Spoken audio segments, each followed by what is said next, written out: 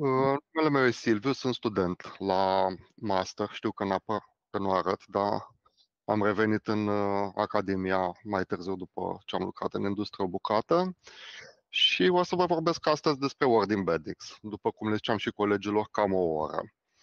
Uh, după care încă o oră colega mea o să vă prezint o,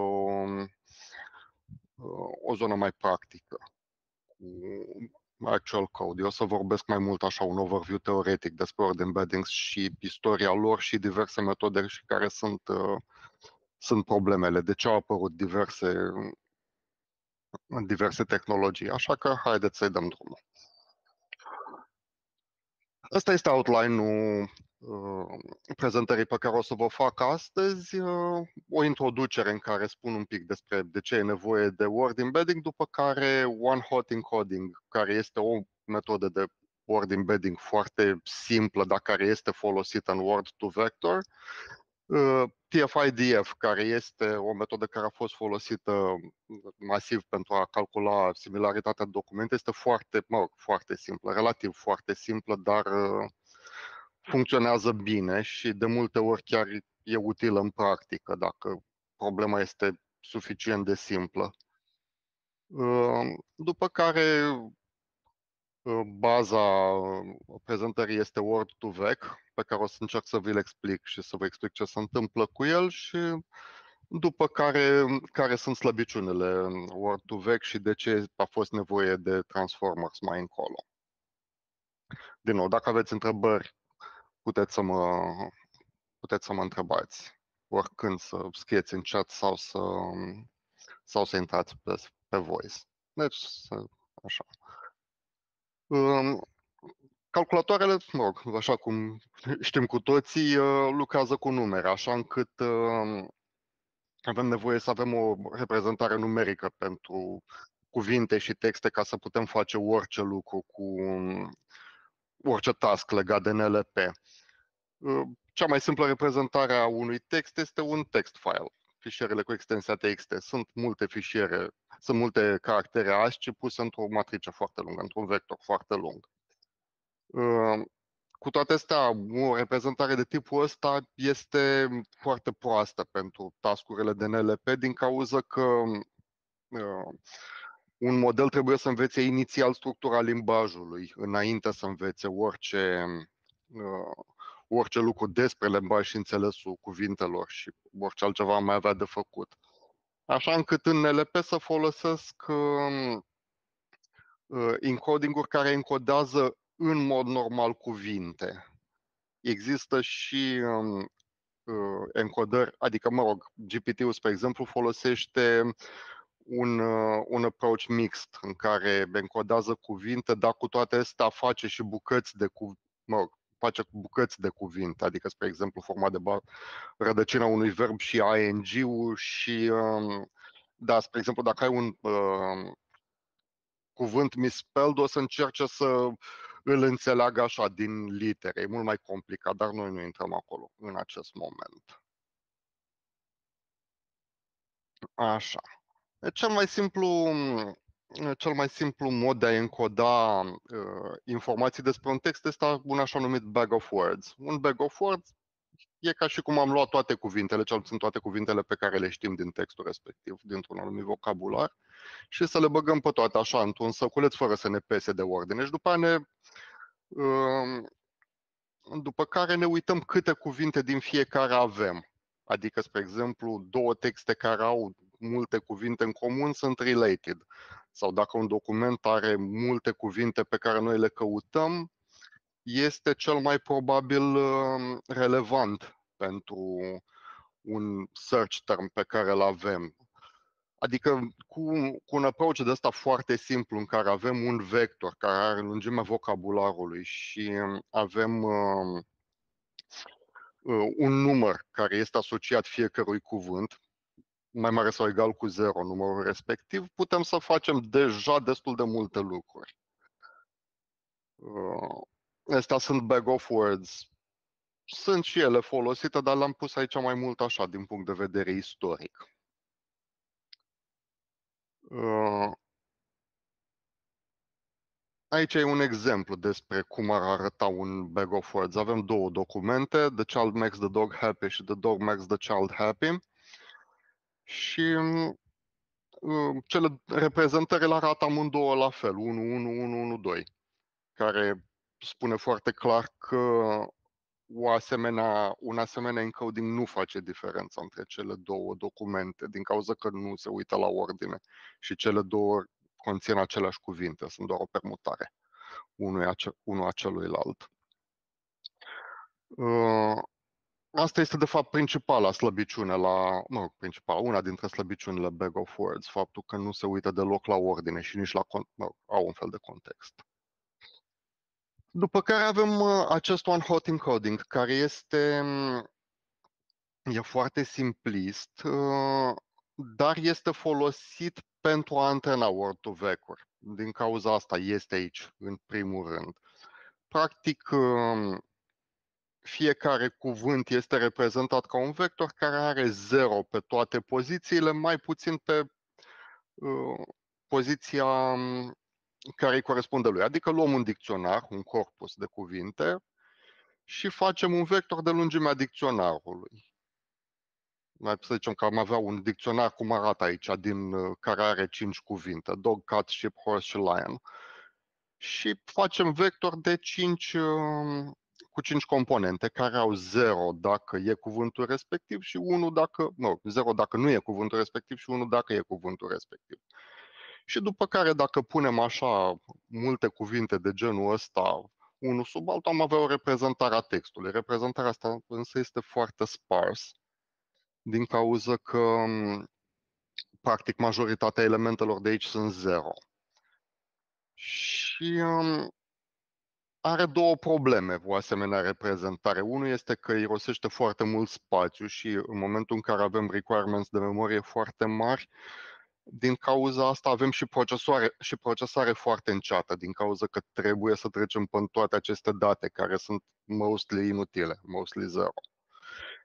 Și o a doua problemă este că chestia asta este arbitrară, e așa, după ordinea din dicționar. Deci habar n-avem dacă două cuvinte au vreo legătură între ele sau nu. Spre exemplu, am putea să zicem că cat și dog sunt cumva mai apropiate din cauza că sunt amândouă domestice, și sheep și horse, și că lion așa ar fi într-un, într-un mic cluster separat, cel puțin dintr-un anumit punct de vedere, dar noi nu știm asta dintr-o asemenea reprezentare. E prea simplistă ca să, uh, ca să o folosim în, uh, ca să putem să facem o asemenea, să putem calcula distanțe metrici de genul ăsta. Așa. Aici deja scrie ceea ce am spus mai departe. A, de asemenea, e foarte ă, sensitiv tu typos și, tu cuvin, și la cuvintele care nu sunt în dicționar, o reprezentare de tipul ăsta.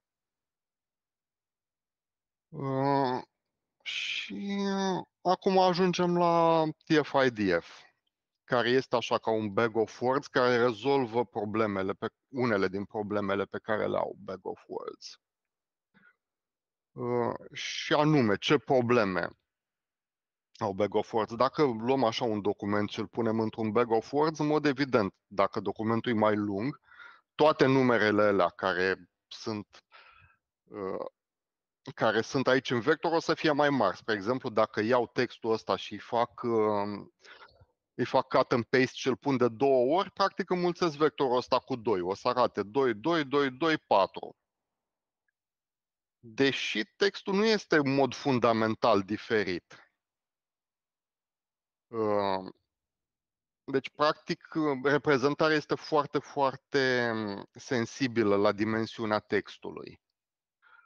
Uh, o altă problemă este că majoritatea textelor conțin foarte multe cuvinte care sunt comune, care nu spun nimic foarte important despre uh, conținutul unui document. Adică dacă avem uh, vrem să deosebim documentele după cuvintele semnificative, nu, de, nu după cuvintele care sunt comune. E aici un exemplu că, spre exemplu, pentru documentul ăsta la care ne uităm, the word embedding este foarte relevant, din cauza că despre asta vorbim. În schimb, the word relevant is not particularly relevant din cauza că el poate să apară așa în multe documente și este nu este legat în mod fundamental de topicul nostru. Este doar cumva în altă dimensiune, nu, nu ne interesează. Și o altă problemă este că dacă avem un termen de ăsta relevant, faptul că apare de mai multe ori ne dă o indicație despre faptul că acel termen este important.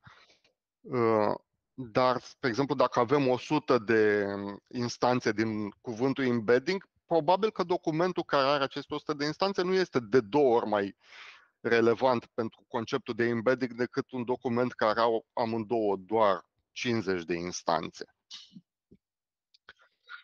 Uh, și astea două probleme încearcă să le rezolve TF-IDF, practic. Și le rezolvă în felul următor. Calculează două mărimi. Term frequency, care reprezintă rația, mă rog, uh, uh, care reprezintă practic frecvența unui cuvânt în, în documentul respectiv. Adică practic cât la sută din, uh, din cuvinte uh, reprezintă sunt embedding și felul ăsta scăpăm de, scăpăm de problema asta, că textele mai lungi au numere mai mari la bag of words. Și Inverse Document Frequency spune cât de specific este acest cuvânt pentru documentul ăsta, în contextul general al tuturor documentelor la care avem acces. Deci, practic, este uh, logaritm din uh, raportul între uh, numărul total de documente în care cuvântul apare și numărul total de documente. Adică dacă documentele care conțin un termen sunt rare, atunci sunt mai relevante, pentru că termenul e foarte specific. Să zicem că avem un termen medical care e foarte specific foarte puține documente conțin acel termen particular și atunci putem să considerăm că uh, putem să dăm o pondere foarte mare faptului că acel cuvânt apare. Și chestia asta a fost folosită foarte mult și este încă relevantă, la modul că um, să pot rezolva probleme cu TF-IDF dacă problemele sunt relativ simple și are avantajul simplității și că nu, de multe ori nu necesită nimic pre-trained. Aici un exemplu numeric despre cum s-ar calcula un TF-IDF, dar dacă sunteți uh, oricum, el este, în, el este în biblioteci calculat, asta e doar așa, ca să puteți să vă uitați un pic pe, uh, să vă puteți uita un pic pe niște numere și să vă formați o intuiție, dar uh, dacă vreți să vă uitați uh, mai în detaliu, probabil că e bine să vă uitați la un film exact despre chestia asta. Așa. Și aici este concluzia despre TF-IDF. Uh, deci este relativ simplu, practic, să ia o corpora și să calculeze niște frecvențe, numai că anumite probleme pot fi rezolvate relativ simplu. Uh, uh, în felul ăsta.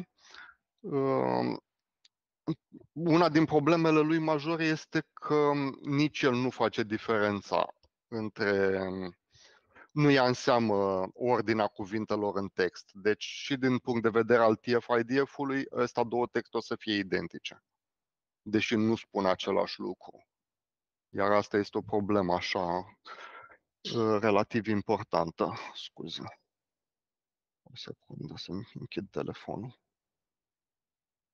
Așa. Uh, deci asta nu... Asta este în continuare o problemă pe care o are. Rezolvă alte probleme, dar pe asta nu. Uh, și din cauza că nu are informații de context, uh, se comportă destul de rău când uh, e vorba de cuvinte polisemantice. Despre exemplu, să zicem că avem un termen pe care îl, îl căutăm, dar um, care este cumva umbrit, mascat de către un cuvânt care se scrie la fel și care este mult mai comun. Adică, nu știu ce să zic. E un exemplu la Word to Vec în sensul ăsta și o să vi-l arăt, mă rog. Uh, ba nu, mai bine nu. Uh, mă rog, exemplul de acolo arată în felul următor, că, spre exemplu, vrem să folosim uh, bank în sensul de uh, malul râului, numai că dacă um, vrem să vedem documentele care conțin acest termen, aceste documente o să fie practic la comun cu documentele care au bank în sensul de bancă. Și um, din cauza asta este foarte greu să vezi practic uh, un termen uh, un termen foarte rar care de asemenea are un alt meaning foarte foarte comun. Din cauza asta este foarte bine ca un nume de firme, de exemplu, să fie foarte, uh, foarte specific, din cauza că e ușor de căutat. Dacă am avea o firmă care se numește, spre exemplu, mașină, ar fi foarte greu de căutat, din cauza că n-am știut niciodată că ne referim la acea firmă sau un brand și nu la uh, uh, și nu la termenul generic mașină. Deci cam Asta este problema cu... Astea sunt problemele cu TF-IDF. Și ajungem la... Uh, asta au fost așa, part, asta a fost partea istorică și avem, uh, ajungem la principalul subiect din prezentarea de față, care este Word to Vec. Și începem prin a ne gândi cam ce ne-am dorit de la o reprezentare a cuvintelor. Adică dacă ar fi să avem așa o reprezentare ideală, așa cum, cum am vrea să fie o reprezentare, ce caracteristici am vrea să aibă și am putea să, și ar fi cam ăsta, să fie, să fie eficient din punct de vedere al memoriei și al storage-ului. Din cauza că în felul ăsta și ocupă puțin loc și putem să ținem documentele relativ eficient și putem să o procesăm repede din cauza că trece repede pe procesor și prin cache cuvintele asemănătoare, ca înțeles, vrem să aibă o reprezentare asemănătoare, pentru ca să putem să facem cumva niște. Uh, să putem să vedem că un text conține așa un sinonim al cuvântului respectiv sau un, uh, un cuvânt foarte asemănător, că în loc de pisică zice motan, dar de fapt e același lucru că zice pisică și motan. Și în felul ăsta am vrea ca pisică și motan să fie să avem o funcție care luând pisică și motan ne spune că ăstea sunt apropiate și dacă luăm pisică și triunghi ne spune că ăstea sunt depărtate între ele. Și asta ar fi o caracteristică foarte bună. Și de asemenea să ne dea voie să uh, efectuăm niște operații între cuvinte în care să putem așa să detectăm un pic din înțelesul lor totuși. Uh, și o să vedem mai departe cum arată chestia asta. Așa. Și um, Word to Vector este o asemenea, construiește asemenea reprezentări. Deci, practic, în Word to Vector, uh, cuvintele sunt reprezentate ca vector de numere reale. Avem un vector cu un număr de dimensiuni, 300 dimensiuni, 500 dimensiuni, 50 dimensiuni. Și pe fiecare dimensiune avem un număr, să zicem între minus 1 și 1 sau între cât reprezintă, cât poate să reprezintă floating point sau depinde cum, cum vrem să reprezentăm chestia asta. Și așa ca intuiția voastră, adică nu este neapărat așa, dar pentru ca să vă formați o intuiție în privința asta, puteți să vă imaginați valoarea din fiecare căsuță ca fiind un răspuns, dar un răspuns fazi, un răspuns nu cu da și nu, ci un răspuns cu cât de. La o întrebare. Uh, nu știu dacă știți, exista un joc, 20 Questions, cred că era 20, în care puteai să găsești un cuvânt punând 20 de întrebări despre el. Întrebai acolo, e real sau e concret sau imaginar? Și cel care se gândea la cuvânt spunea, da, nu, nu știu, nu se aplică. Pe care spuneai, e mai mare decât un elefant sau mai mic decât un elefant? Și ăla îți răspundea. Și uh, scopul jocului era să poți să găsești, să determini în mod unic un cuvânt din uh, întrebări de genul ăsta. Și numărul de întrebări care pot fi puse ca să găsești un cuvânt sunt cam 20, aparent, cam asta e dimensiunea. E, într-un sens oarecare, Word to Vec este așa, din punct de vedere intuitiv. Fiecare căsuță de asta din, din reprezentare este un, este un răspuns de tip cât de la o asemenea întrebare. Gen, cât este de viu, cât este de uh, clădire, cât este de abstract. Și în felul ăsta construim o asemenea reprezentare, cuvintele care sunt asemănătoare o să aibă caracteristici asemănătoare și dacă facem uh, uh, dacă facem cosinus similarity, dot product între cele două um, între cele două cuvinte o să ne dea un scor mare. Sper că știți ce e la cosinus similarity. Dacă nu știți, look it up sau scrieți-mi în chat să vă explic. Pe scurt, că aparent m-am grăbit și avem timp. Um, deci cam așa vă puteți imagina acest, uh, această reprezentare a word to vector. Again, aceste cuvinte nu le-a codat cineva în reprezentare sau uh, și noi nu putem să punem mâna pe ele, adică ele au un înțeles pentru calculator, el își construiește singur niște direcții așa după care clasifică cuvintele astea emergent. Poate făcând niște experimente putem să aflăm anumite valori de asta cam ce ar reprezenta într-o anumită instanță a lui Word Vector, numai că uh, chestia asta cu întrebările trebuie văzută ca fiind o metaforă pentru intuiție, nu o chestie concretă. Adică nu puteți să vă uitați așa la un număr de la să înțelegeți exact ce reprezintă. La fel cum într-o rețea neuronală nu puteți să vă uitați la o pondere, să ziceți, aha, ponderea asta e așa din cauza că... Nu, e așa din cauza că e așa. Asta este de fapt una din problemele cu genul ăsta de machine learning. Și ajungem la una din cele mai uh, puternice lucruri pe care le are Word to Vector, anume că putem să facem operații algebrice pe cuvinte. Adică putem să luăm cuvin- vectorii ăștia și să, să adunăm și să-i scădem și să ajungem la, din cauza că ei sunt apropiați în spațiul ăsta multidimensional, putem să ajungem la concepte similare făcând uh, operații algebrice. Astea sunt două exemple clasice. Nu știu dacă sunt clasice din cauza că merg foarte bine sau sunt clasice fiindcă toată lumea le-a copiat pe astea, dar e și ușor de înțeles.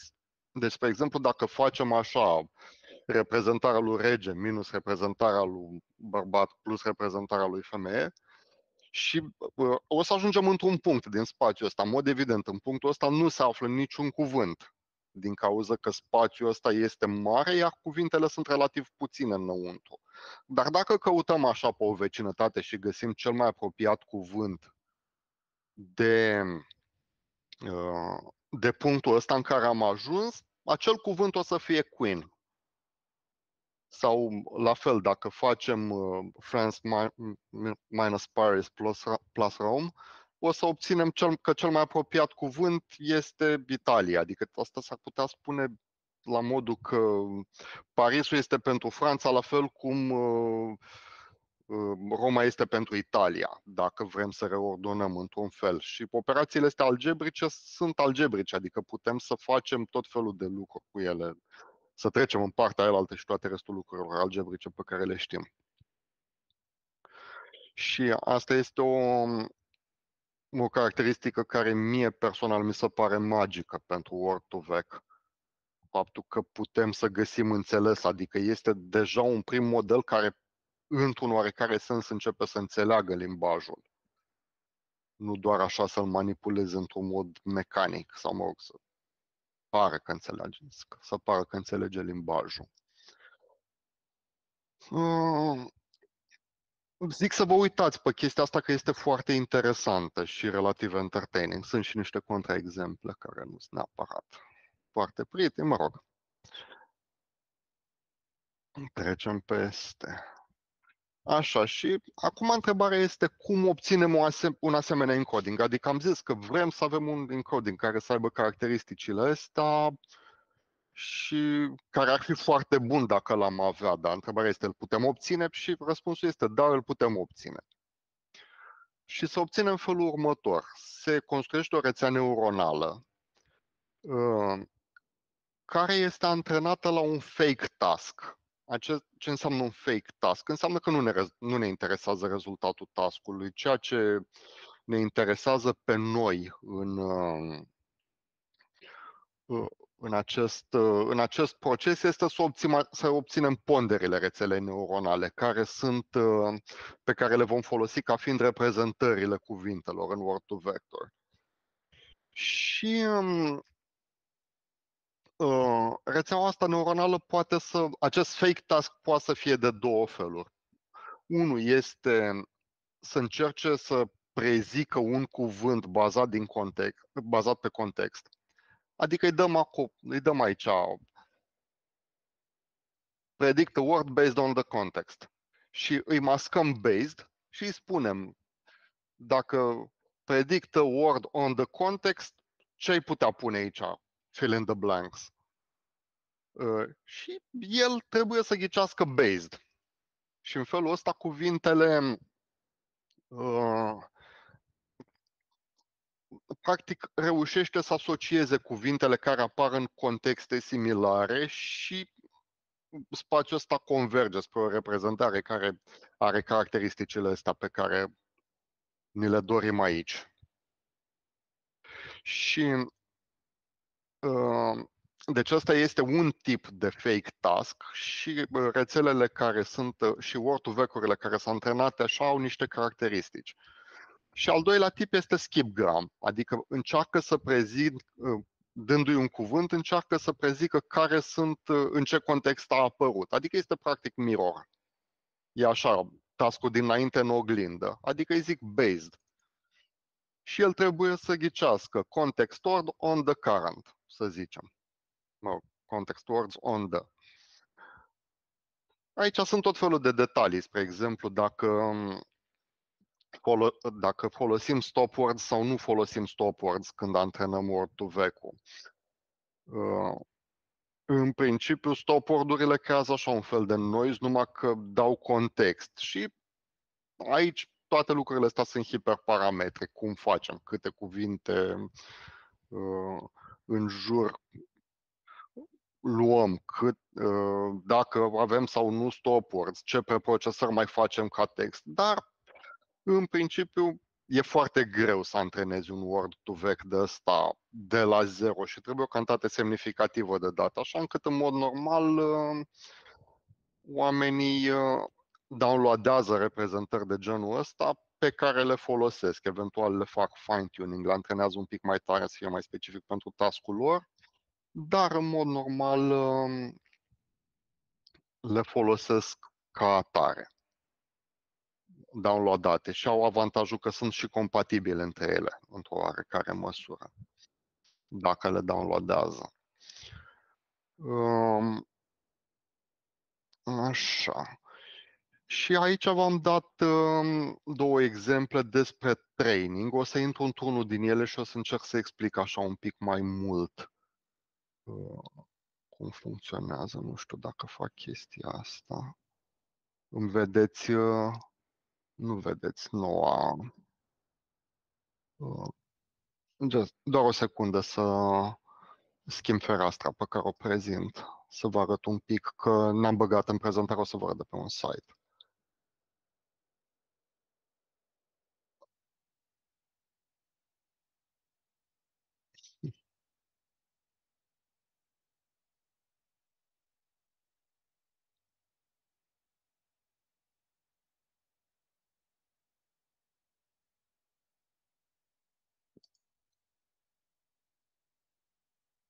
Da, scuze, nu... Present something else. Window. Așa, scuze de pauză. Uh, articolul ăsta este interesant așa și explică cum se uh, ceea ce am explicat și eu mai devreme, cum să facem masking-ul și uh, uh, cu toate reprezentările astea, dar vreau să ajung la antrenare. Deci aici este uh, e antrenarea. Deci, practic, se iau cuvintele care sunt encodate, one-hot encoding, așa cum am zis mai devreme, adică au unul pe poziția pe care e cuvântul ăla și zero restul, se bagă într-o uh, rețea neuronală cu un hidden layer, în care fiecare uh, neuron de ăsta are un număr de pondere. Aceste pondere o să fie dimensiunea spațiului pe care uh, dimensiunea reprezentării, adică, spre exemplu, dacă vrem să reprezentăm uh, uh, cuvintele astea în uh, 300 de dimensiuni, uh, o să avem 300 de neuroni.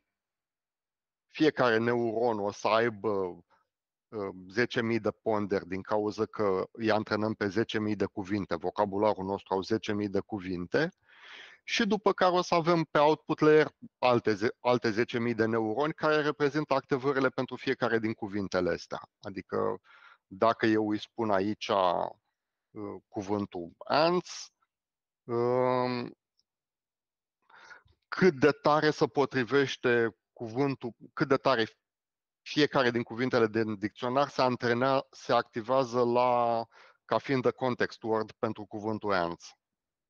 Și um, practic noi după aia facem backpropagation cu uh, cuvintele pe care am vrea să le avem în uh, training exemplu ăsta în acest hidden layer. După care acest hidden layer practic ponderele din el o să fie așa cum arată aici. Scuze. Uh, o să fie practic o matrice de 10.000 pe 300, pe care dacă o transpunem, am găsit uh, reprezentările pentru fiecare din cele 10.000 de cuvinte, fiecare având 300 de feature-uri. Cam asta este, cam așa funcționează uh, antrenarea și um, antrenarea pentru cealaltă variantă este pur și simplu în oglindă. Adică avem aici multe cuvinte, uh, avem aici un număr de cuvinte care reprezintă contextul și aici un singur output. Mă rog, cum arată în documentul ăla pe care vi l-am arătat mai devreme. Și v-am mai pus aici în, um, uh, în document un, um, Uh, un alt, uh, stați o secundă, să mă întorc înapoi aici. V-am mai pus și un YouTube pentru cei care preferă în loc să citească text să se uită la cineva care vorbește, care explică lucrurile astea mai bine decât am făcut-o eu. Dar, uh, din punctul meu de vedere, în momentul în care uh, vezi un lucru de mai multe ori explicat în moduri diferite, îl înțelegi mai bine, îl internalizezi mai bine. M-am grăbit un pic și am terminat mai devreme. Mi-a fost, timp, mi-a fost foarte frică că nu o să reușesc să prezint tot, lipsă de experiență și spune cuvântul, așa încât am timp pentru întrebări. Dacă aveți întrebări, dacă nu aveți foarte multe întrebări, putem să luăm o pauză și să, vă la, și să las pe colega mea să vă prezinte partea, partea practică. Dar dacă aveți întrebări, vă rog să mi le adresați. Suntem mai mulți aici, probabil, care vă putem răspunde. Aș avea eu o întrebare despre cosine similarity și de ce se folosește în loc de o funcție normală de distanță. Ce înseamnă o funcție normală de distanță? Scuze că te iau așa. Uh, uh, e relevant. Dist- uh, distanța pătratică de pe fiecare axă? Da am avut și eu problema asta. Deci, în primul rând, nu sunt același lucru o similaritate cu o distanță. O similaritate uh, crește când uh, obiectele sunt apropiate, o distanță scade când obiectele sunt apropiate. și crește în momentul când, când obiectele sunt depărtate. Ele sunt foarte intim legate, cosinus similarity și cu distanța euclidiană. Uh, doar că una e o distanță și poate să fie, spre exemplu, oricât de mare, cel puțin în lumi normale, uh, pe când cosinus similarity este între, 0, între minus 1 și 1. Și se folosește din cauza că noi vrem să trat, adică de ce cosinus, de ce între minus 1 și 1? Din cauza că noi nu avem niciun fel de context, vrem să tratăm lucrurile ca fiind egale, într-un sens. De asta normalizăm la dimensiunea lor. Adică când ai doi vectori, unghiul dintre ei nu, de, nu depinde de distanța vectorilor. Exact așa, când ai două cuvinte, uh, nu poți să zici că cuvintele sunt mai mari sau mai mici. Poți zici doar cât de related sunt, iar chestia asta trebuie să fie normalizată. Dar se folosește, adică este într-un fel, similaritatea este într-un fel inversul unei distanțe, dar nu este, nu este un invers, este o altă măsură. Nu știu dacă ți-am răspuns, dacă vrei să răspund mai mult. Dacă... Da, am înțeles și mai vreau să pun o întrebare. Dacă, două, dacă avem două cuvinte care au același sens al vectorilor, dar că diferite mărimi, dacă da. o să aibă similaritatea 1. nu așa? Da, dar în principiu nu-mi dau seama, poate altcineva îți poate răspunde, dar în principiu cred că toți vectorii ăștia sunt normalizați. Adică nu, nu sunt unele mai mari și altele mai mici. Deci nu o să adică existe... ele toate sunt pe o sferă într-un sens oarecare, cred putem să întrebăm pe... Dar eu, eu așa aș face dacă i-aș face. Nu mi-am pus niciodată problema că ar putea să nu fie. De asta nu știu să-ți răspund la întrebarea asta. Ok, mulțumesc foarte mult. N-ai pentru ce. Altcineva care ar putea să aibă o întrebare? Sau nu?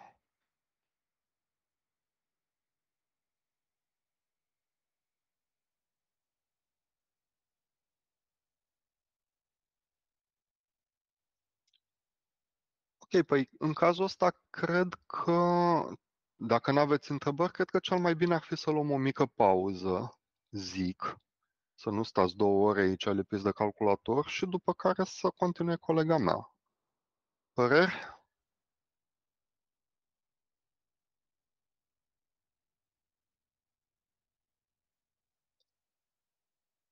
Bun, dacă nu are nimeni niciun nimic împotrivă, zic să luăm o pauză atunci? Mă numesc Ilinca Nechita, sunt studentă, acum am terminat uh, anul 3 la specializarea informatică de la Facultatea de Matematică Informatică din cadrul Unibuc și nu am foarte multă experiență în zona aceasta de prezentări. Am mai făcut câteva materii la facultate pe AI. La licență am abordat un subiect de NLP care cumva cuprinde și o parte din ceea ce o să prezint astăzi. Bineînțeles, adaptat pe un alt set de date și total uh, altceva. Uh, ziceam că o să vă arăt un pic uh, ce ați avut voi pe site. Uh, aici se lucrează fix cu cosine similarity pe un set de date care cumva vrea să încerce să nu facă această discriminare în funcție de genul unei persoane. De exemplu, există, să zicem, asemănă, asemănări între king și queen, adică rege și regină, cum ar exista între femeie și bărbat, dar nu ar fi ok să extrapoleze la modul inginer să fie considerat uh, din categoria bărbat, iar uh, automat persoana care se ocupă de curățenie sau de casă să fie considerată ca fiind femeie, se păstreze cumva această distanță. Um, aici s-a folosit uh, o extragere folosind o librărie specială cumva pentru vectori. Cred că o să vă prezinte doamna Oban mai încolo particularitățile acestei librării GenSim. Uh, ele se, librăria aceasta cumva oferă anumite să zice, reprezentări pe care voi puteți să le mapați pe cuvintele pe care le aveți deja, fără să trebuiască să implementați acele reprezentări efectiv în codul vostru. De exemplu, acest tip uh, Glove Vectors nu va trebui să implementați voi de la zero și să construiți practic acești vectori, ci pur și simplu um, veți aplica acest, aceast, acest tip de reprezentare pe cuvinte. Uh, distanța aceasta se calculează, cum am trimis și un exemplu în chat, ca fiind diferența între 1 și distanța efectivă între acești vectori. Și ideea ar fi că, așa cum spunea și Silviu, noi vrem să știm cât de similare sunt și cu cât sunt mai apropiate cuvintele, cu atât sunt mai similare. Adică ar trebui să crească cumva invers proporțional similaritatea cu distanța. De asemenea, aici vă arată cum se extrag cuvintele din uh, acești vectori, din uh, listele pe care, uh, pe care se află în fișierul TXT și vă arată niște exemple de cum arată vectorii respectivi.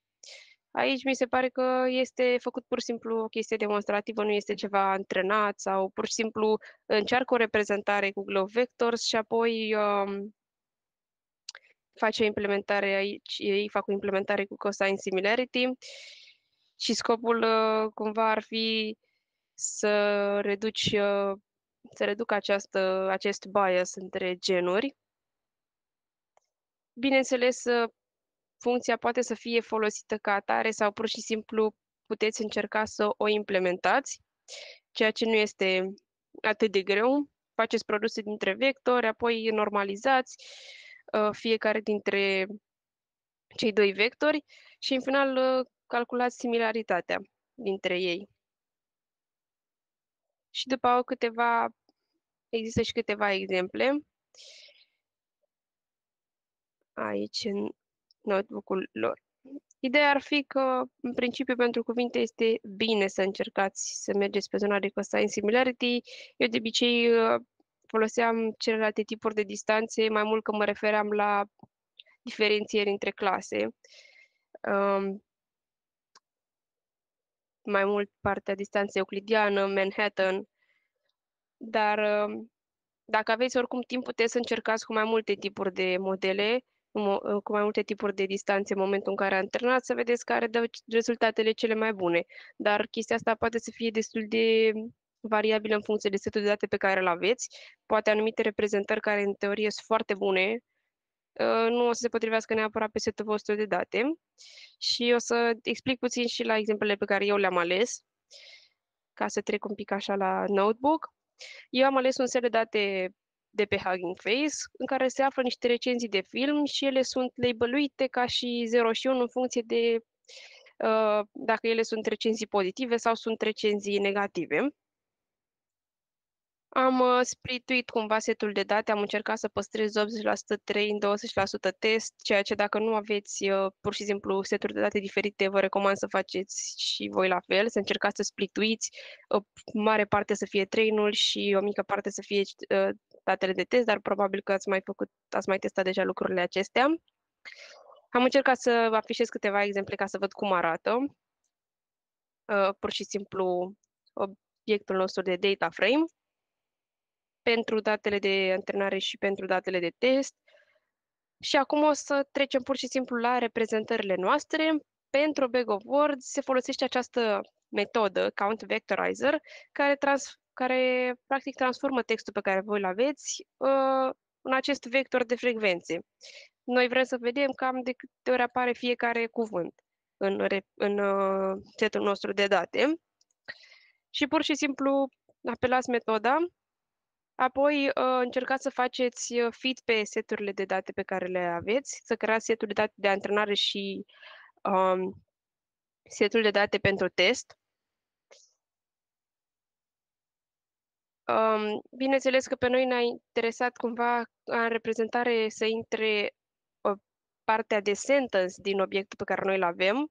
Deci ea este singura parte care conține practic textul și atunci e singura parte care este interesant în această reprezentare de tip Bag of Words. Bineînțeles că am încercat să afișez și primele cuvinte din vocabular. Ideea este că el ia toate cuvintele pe care le găsește în vocabular după ce s-a făcut acest split de cuvinte și le adaugă într-o, să zicem, o grămăjoară, că de aceea vine și denumirea de sac, și de acolo pur și simplu vedem uh, fiecare cuvânt de câte ori apare. Uh, ele sunt sortate alfabetic, după cum se poate vedea și aici, și am mers la 6.000 cu cuvintele pentru că la început de tot uh, erau cifrele. De exemplu, dacă aveai anul de apariție al unui film sau, nu știu, diverse cifre recenzii erau cele care apăreau primele și apoi începeau să apară și cuvintele. Și vedem că aici sunt cuvinte care seamănă foarte mult, cum ar fi illusion, illustrated, illustrates, illustrating, deci cumva le sortează pe lângă partea aceasta alfabetică, ele sunt și foarte asemănătoare ca și sens. Am încercat să aficez uh, primul, din primul review practic ce valori am. 0 înseamnă, uh, pardon, acest număr înseamnă, să zic, indicele review-ului respectiv, pentru că acestea nu sunt sortate, review-urile nu sunt sortate în ordinea în care este setul de date, ci pur și simplu se iau într-un fel aleator. Și aici există, să zicem, primul cuvânt din, de asta aici este zero, primul cuvânt din această practic, uh, mă rog, primul cuvânt în poziția lui din uh, propoziție și aici poziția lui din sacul acesta de cuvinte din Bag of Words și bineînțeles de câte ori apare. Uh, pentru primul review, acesta este vectorul construit, apar foarte multe valori de zero, uh, pentru că el cumva se uită în tot vocabularul și vrea să vadă dacă acel cuvânt apare în vocabular. Și atunci, cu cât este mai mare vocabularul, cu atât sunt mai multe valori nule, dar asta nu înseamnă că este o problemă. Um, pentru primul review, bineînțeles, putem să vizualizăm în acest cod și fiecare cuvânt de câte ori apare pur și simplu. Um, folosind, evident, cumva această reprezentare zip din Python. Putem să obținem foarte ușor cuvintele și frecvența lor într-o propoziție, dar aceste lucruri de aici sunt pur și simplu pentru a vizualiza mai mult. Adică nu, nu cum să zic, nu influențează cu nimic antrenarea sau procesul de testare, nimic, dar pur și simplu să vizualizați mai bine datele dacă vreți să vedeți cum funcționează aceste reprezentări de tip uh, Bag of Words. Pentru TFIDF, la fel am folosit uh, această metodă. Ele sunt importate din uh, sklearn, Feature Extraction. Uh, nu cred că o să vi se ceară să le implementați voi, deci eu aș sugera să le luați deja gata cumva direct din sklearn, fără să mai faceți voi implementările, dar aveți un site cu o implementare pentru Word2Vec pe How to Prepare am lăsat-o și eu aici, poate o să o deschid după ce arăt ce am făcut în notebook. Am încercat să fac aceeași chestie ca și înainte, să afișez puțin, să văd cum funcționează, cum uh, a luat el cuvintele, ce... Uh, aici am vrut să văd cumva și ce medie există pentru acest scor, pentru fiecare exemplu din uh, setul meu de date pur și simplu pentru a experimenta, a vedea cum funcționează.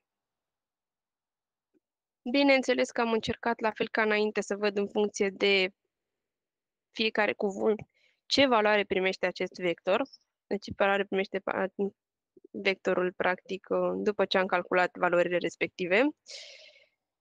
Um, și la fel am luat pentru o propoziție efectivă, să vedem pentru fiecare cuvânt care ar fi în primul review, doar pur și simplu să vedem cum funcționează, dacă merge, dacă dă niște rezultate cât de cât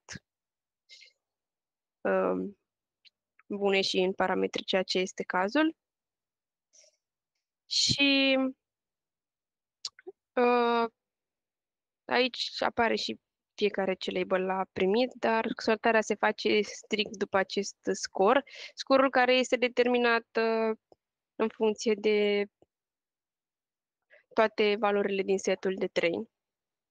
Am calculat aici, se vede cumva că am calculat scorul pentru datasetul nostru și după le-am sortat pe toate după acest scor, pur și simplu ca să, să vedem care ar fi cumva propozițiile considerate un pic mai, să spun, evident că ar fi negative sau evident că ar fi pozitive în funcție de acele reprezentări. Și ultima reprezentare care a fost uh, prezentată și în PowerPoint ar fi Word2Vec. pentru el am spus că există o, re- o implementare de la zero, dar nu, în continuare spun că voi probabil o să folosiți pe cea deja luată din librărie și pur și simplu uh, modificați parametrii. Uh, am făcut prima dată un uh, split ca să, poată să, ca să pot să aplic după modelul pe uh, fiecare propoziție în parte. Și apoi pur și simplu am dat câțiva parametri. Uh, cum îți prezenta Silviu, sunt două tipuri de reprezentări, este SIBAU și SkipGram. Dacă aici se vede mai jos, este acest parametru setat la 1, o să folosim SkipGram, dacă nu, se folosește SIBAU. Pentru setul meu de date de acum nu este o diferență așa de mare între ele, este o diferență foarte mică, aproape, um, să zic, infimă. Dar ideea ar fi că la acest Word to Vec trebuie să aveți destul de mare grijă cum îl folosiți, pentru că dacă aveți uh, seturi de date foarte mari și foarte mult conținut, s-ar putea să nu ofere atât de mult randament, ceea ce o să fie și cazul, să arăt mai jos rezultatele antrenării față de alte modele, care poate par mai simple. Cumva e bine să vă analizați setul de date și un sfat pe care vi-l mai dau, setul acesta de date este balansat, dar un sfat pe care vi-l dau este să încercați uh, pentru datele de training pe care le aveți, să vedeți dacă este set de date balansat sau nu, ca să vedeți și ce metrici să folosiți și să vedeți de ce vă dau poate anumite rezultate mai bune și altele mai proaste. Uh, în momentul în care noi am primit această, am primit această reprezentare de tip Word to Vec, ea este făcută sub formă de, propozițiile sunt reprezentate sub formă de token-uri în vocabularul nostru. Uh, am creat așa o funcție, deși se poate lucra și fără, pur și simplu, pentru ședința am creat această funcție care primește ca input acele token-uri și modelul. El iterează prin acest uh, vector și uh, iterează, pardon, prin uh, aceste tokenuri și creează un vector cu acestea. Și ideea lui este cumva să obțină cât mai mult similarități între cuvintele, mă rog, între to- reprezentarea tokenizată din uh, vectori. Pentru fiecare tip de date am creat și un array în care să se, uh, cum să spun, păstreze această reprezentare vectorială. La fel am oferit câteva exemple ca să vedeți pur și simplu cum ar arăta acest rezultat pentru testul de date și pentru de training și pentru testul de date de test. Există evident valori diferite pentru că cele două hmm, reprezentări sunt calculate cumva diferit, uh, skip gramul și uh, Sibau, dar așa cum am spus, între ele nu este o diferență prea mare ca și rezultat, așa că dacă, să zicem, aveți de testat mai multe modele, nu v-aș recomanda să încercați neapărat cu ambele tipuri de reprezentări, ci să încercați mai multe reprezentări în sine, adică să zicem și Word to Vec și TFI-DF, nu să vă axați pe una și să încercați să schimbați foarte mult la ea. Uh, și la, la fel să jonglați foarte mult cu modele. Ați avut și parte de transformere, ele cumva sunt ceva mai complexe, dar pentru anumite seturi de date s-ar putea chiar să funcționeze mai bine modelele care par mai shallow sau modele care par în general, uh, da, că nu sunt atât de complexe, pentru că depinde super mult de ce set de date aveți voi. Um, se obține, cum am spus, array pentru fiecare set de date, folosind această reprezentare Puteți să vedeți și care este shape-ul fiecărui, fiecărui set de date. Și acum o să trecem la partea efectiv de a antrena și a evalua un model.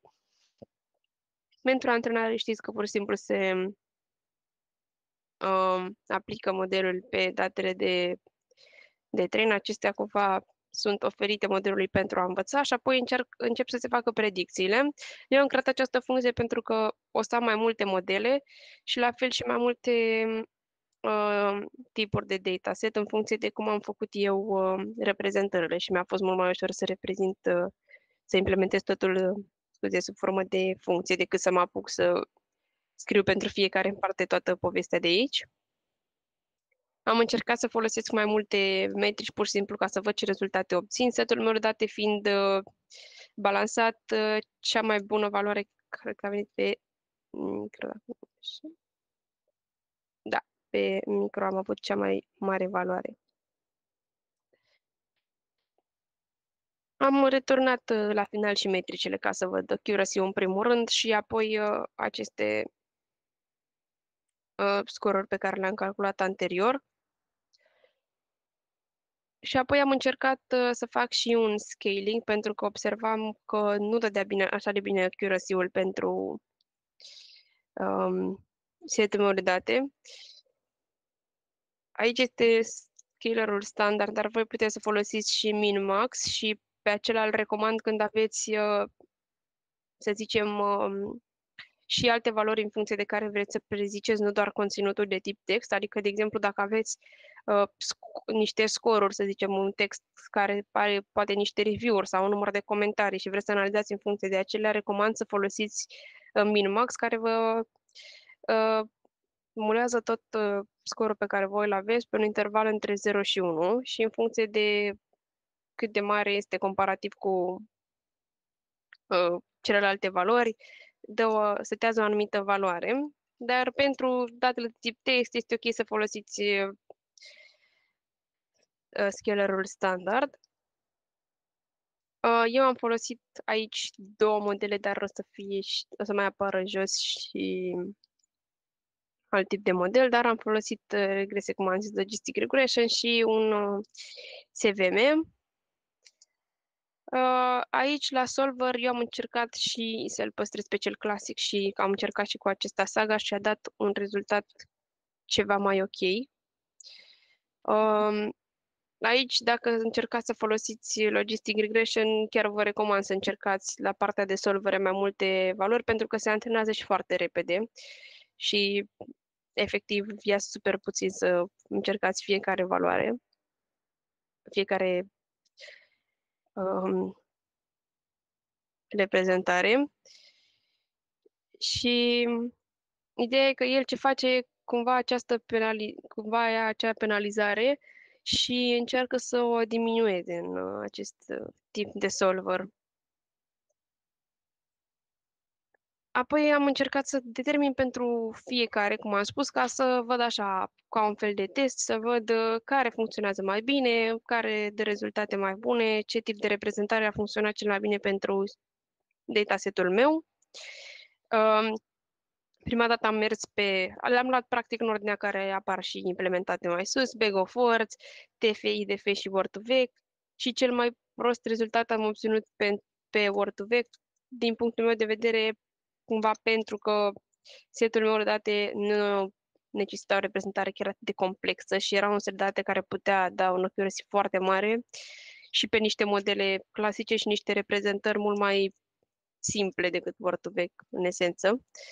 De aceea v-am spus că este destul de bine să încercați să testați și să vedeți practic ce funcționează mai bine pe un set de date și cum am zis și înainte, dacă luați un model mai simpluț și îl antrenați foarte repede, nu o să dureze, nu o să vă mănânce, ca să zic așa, din timpul uh, de concurs efectiv. La parte de schimb, cred am spus că este o diferență foarte mică, adică se vede că e ceva efectiv aproape identic. Deci, nu știu dacă, repet, nu prea vă recomand să încercați neapărat foarte multe chestii, ci să mergeți pe două mari sau trei, să zicem, să mergeți pe acestea trei. Um, bineînțeles că am încercat cumva să aplic modelul și pe set date scalat ca să văd care este diferența și există o diferență. Eu am folosit, uh, cred că scalarea am făcut-o pe Bag of Word, da.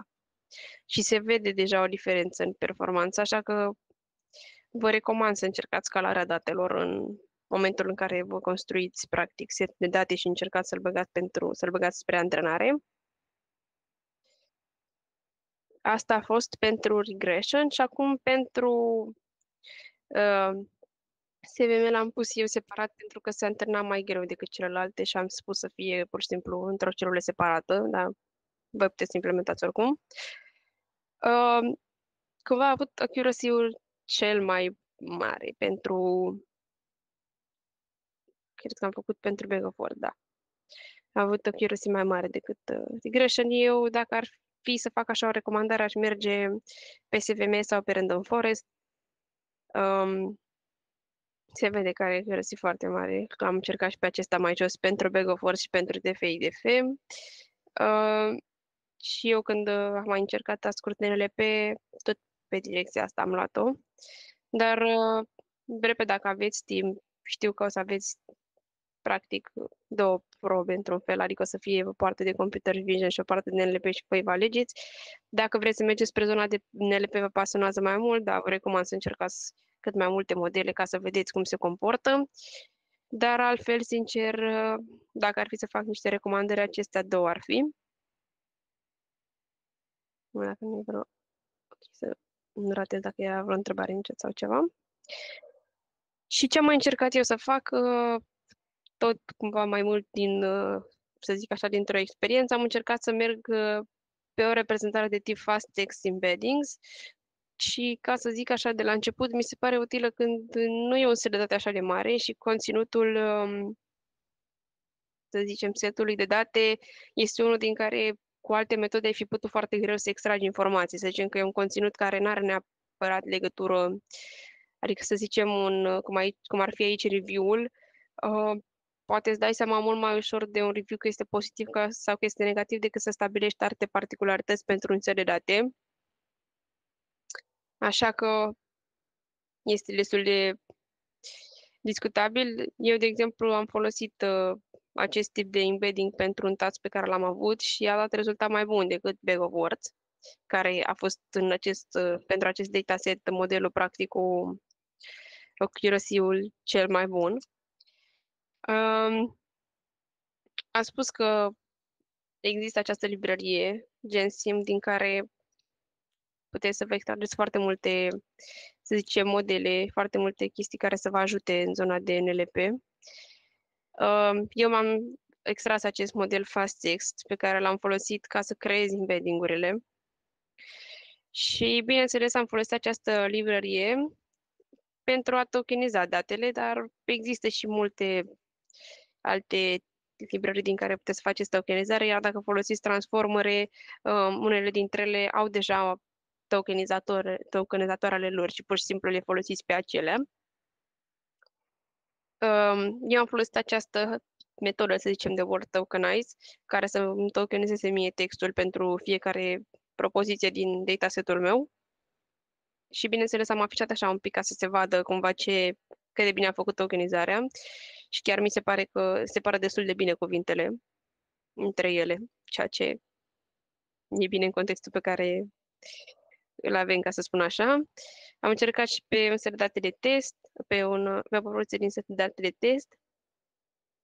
Uh, și scopul cumva a fost pentru fiecare vector pe care eu îl aveam, uh, el practic fiind reprezentat în spate sub formă, de, sub formă matematică, am încercat să calculez media pentru fiecare, practic, uh, acest tip de vector prezent pentru fiecare text. Și am generat embedding-urile folosind uh, practic această medie. Embedding pe care um, l-am uh, pentru fiecare, să zic așa, parte din conținut, pentru fiecare propoziție, am, uh, l-am, l-am uh, inserat la o listă cu toate aceste embedding-uri. Evident, ca să pot să separ și cumva să le țin pe toate la un loc pentru train și pentru test. Uh, aici cred că modelul a fost SVM, da, da, a fost acesta. A fost un, uh, un SVM, dar uh, evident că puteți să încercați și alte modele ca să vedeți cum se comportă. Eu am încercat așa să ofer o perspectivă mai mult și cumva o idee despre cum se implementează aceste tipuri de reprezentări, dar uh, și câteva diferențe între ele și particularități în funcție de seturile de date. Bineînțeles că aici, în funcție de vector size, window și așa mai departe, puteți să obțineți performanțe mai bune sau mai puțin bune. Um, nu vă recomand să încercați să testați foarte mult dacă vreți să faceți mai multe metode pentru mai multe, să implementați mai multe modele pentru un task, nu vă recomand să stați foarte mult în zona aceasta de parametri. Um, și să încercați de asemenea să mai variați pe parte de SVM. Eu am mers cu 5, dar evident puteți să folosiți și 10 sau un număr mai mare pentru acest parametru de regularizare. Și cam asta ar fi în zona de implementare. Dacă aveți câteva întrebări, puteți să le puneți. Uh, dacă nu, o să vă arăt un pic și uh, ceea ce au pus cei de pe, de pe site, pe parte de implementare pentru uh, Word to Vechi. L-au făcut, să zic, de la zero, doar cumva ca să vă dați seama cum funcționează mai bine. O să vă arăt un pic ce dăduseră cei de pe site în zona de implementare.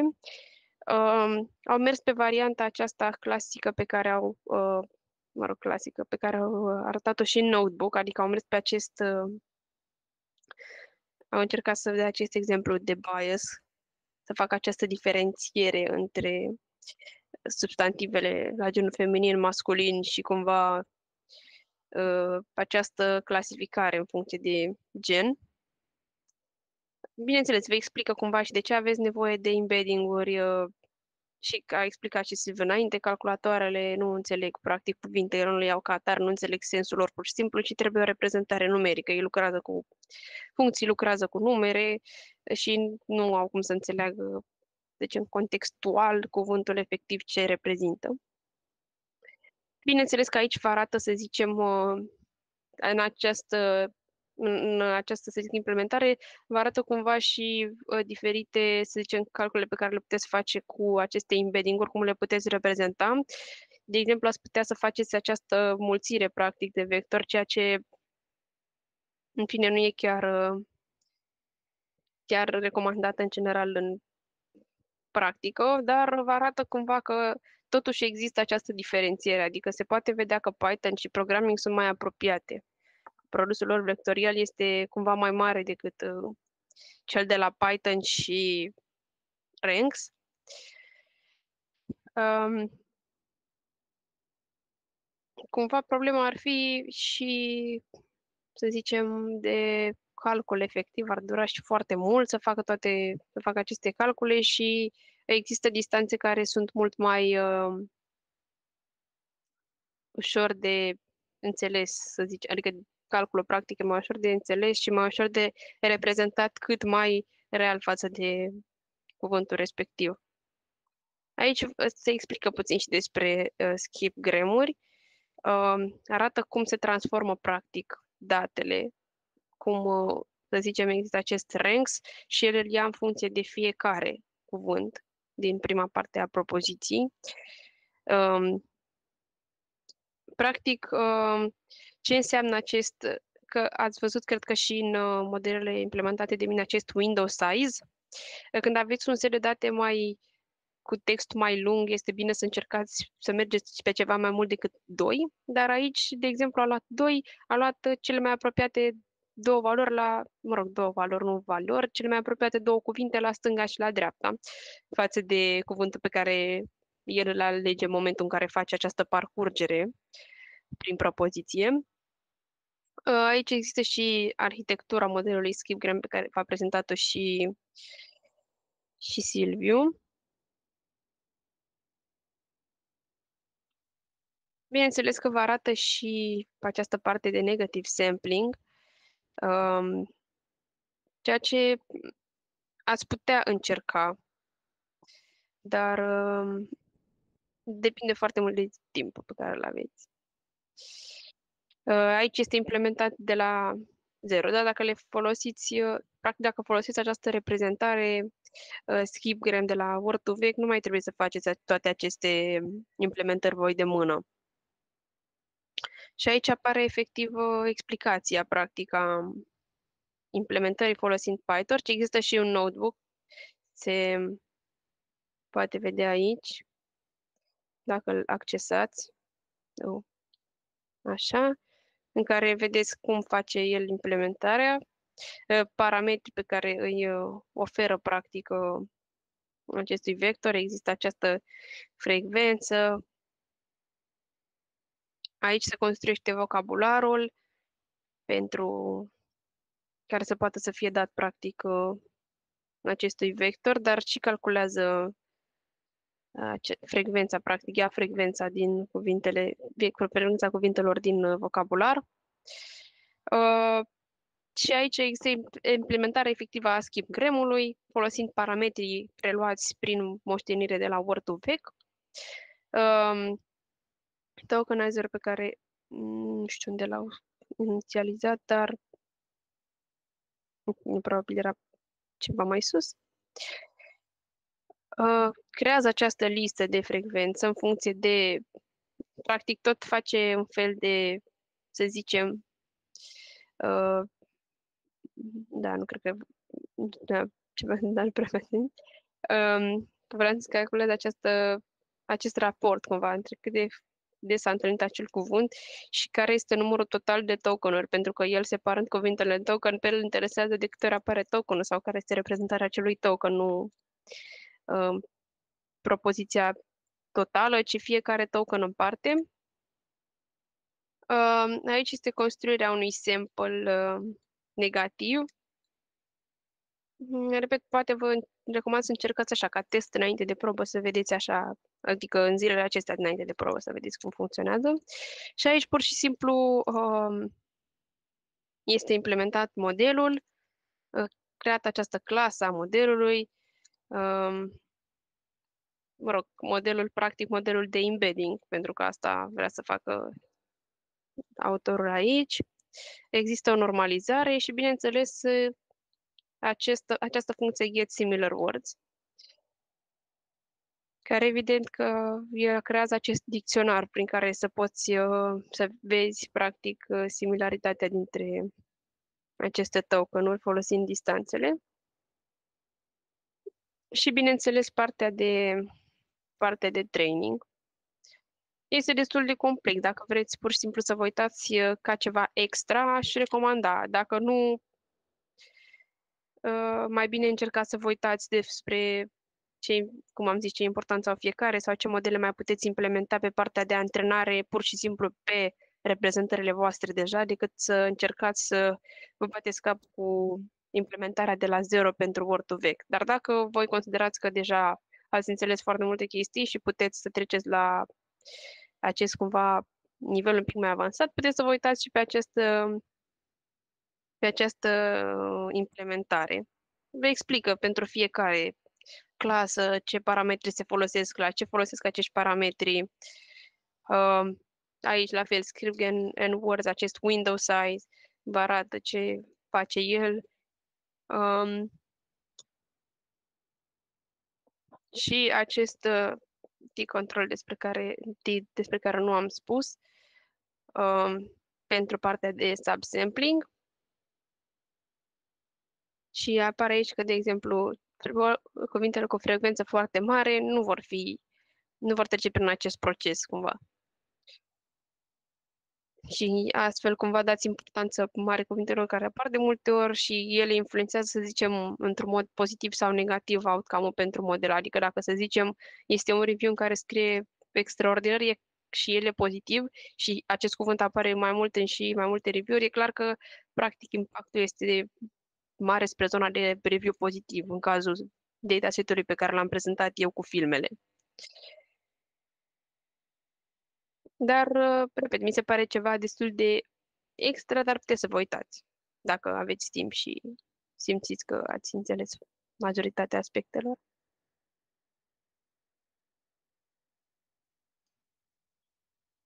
O să mai am și eu o observație, că am uitat să zic ceva care era relativ important.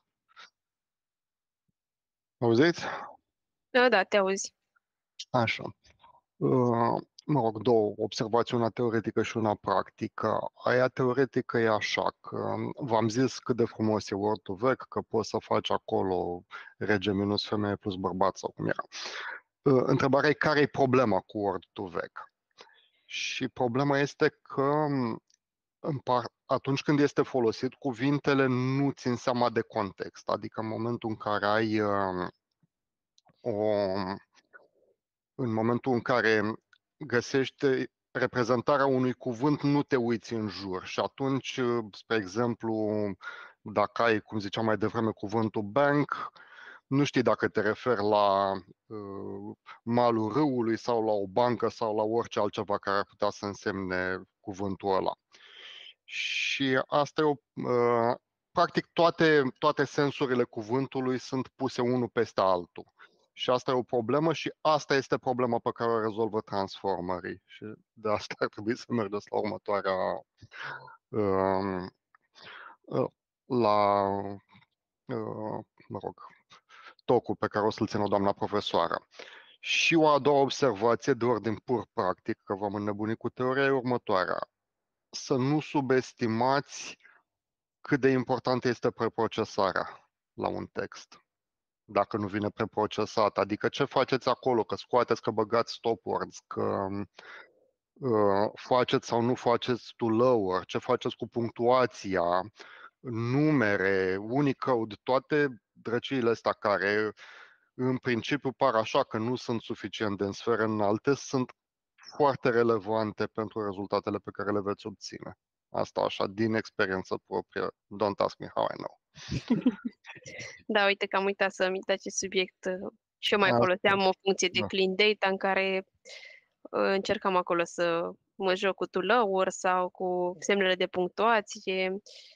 Da, au un impact destul de mare asupra rezultatelor, într-adevăr, dar mulțumesc că ai clarificat că sincer uitați de chestia asta. Mi-am adus aminte acum întâmplător. Mulțumesc și eu și vă mulțumesc pentru că m-ați ascultat și ne-ați ascultat. Da. Mersi. Dacă mai aveți întrebări, dacă nu, uh, noi o să vă lăsăm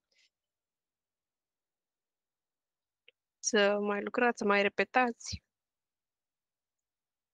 Și, da, cred că atât eu cât și colegul meu vă urăm mult succes, mult sport la lucru la învățat și, da, Doamne ajută să fie totul bine pentru voi. Dacă nu o să fie neapărat ceea ce vă doriți. Gândiți-vă că ați învățat foarte multe lucruri. Eu, cel puțin, când eram la liceu, nu știam treburile astea. La mine, cumva, în perioada când eram eu, chiar dacă eu acum destul de puțin timp, nu se pune accentul pe zona aceasta de AI la liceu.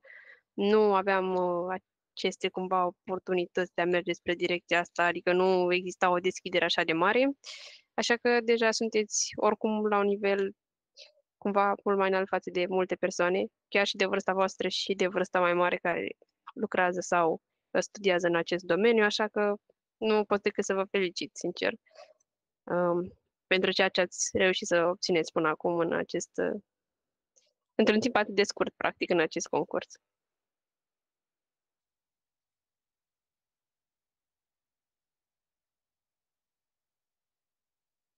Păi, dacă nu mai sunt întrebări, cred că aici se va încheia prezentarea.